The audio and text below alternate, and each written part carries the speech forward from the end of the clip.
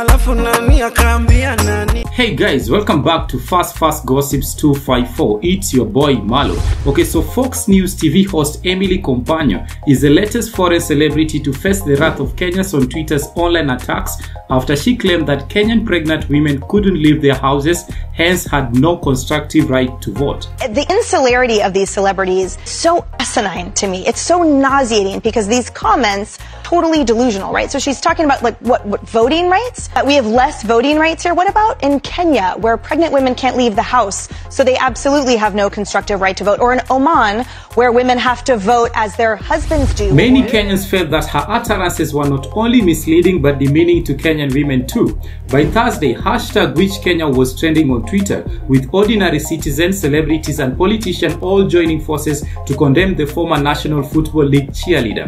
Many are now calling her out to apologize. Here are some of the reactions we sampled. Kitui Governor Charity Ngilu tweeted, Wait, what?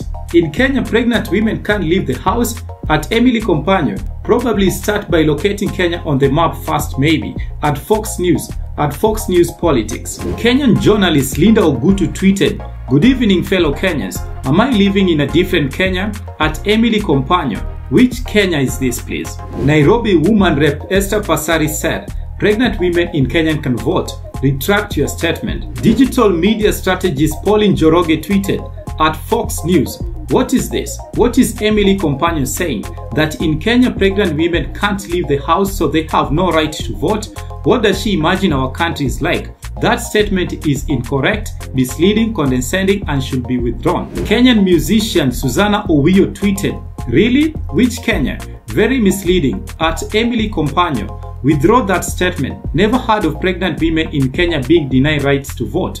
Totally unacceptable. Another Twitter user tweeted, Pregnant women, the sick, and the elderly are actually given the first priority to vote in Kenya. Which Kenya is Emily Compagno referring to? So, what's your opinion on this? Do you think Emily Compagno was out of line or are Kenyans just overreacting? Let us know in the comment section below.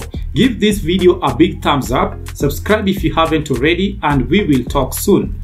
Bye!